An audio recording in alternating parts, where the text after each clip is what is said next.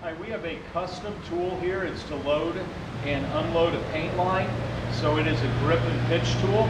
It's under Gorbel Easy Arm. You have your up-down controls, your e-stop. We do have, as an extra amount of safety, a common button.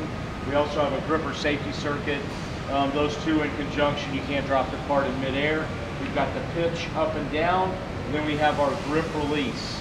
We also have a handle that will go up and down on linear rail. So you can keep your hands in a good ergonomic position. So I'm go ahead, come onto the part. We've obviously just simulated this paint line. We go up, comment, hit the button, hit in the up direction. Normally we'll have rigid hooks there, so it comes off easy on the paint line, hand loaded.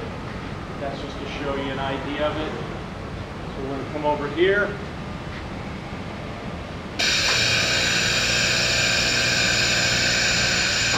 Pitch the part down. And you're gonna see how I can keep my hands in a very ergonomic condition while we're moving it. So I'm gonna go ahead and go up. One cool feature of the Easy Arm is float mode. So I put that in float mode. You do not have to grab onto the part, or you do not have to grab onto the up-down controls to put it into float mode. Additionally, hitting the release button cannot drop the part in midair. That's the general operation of this tool. For more custom solutions, visit us at ergonomicpartners.com. Thank you.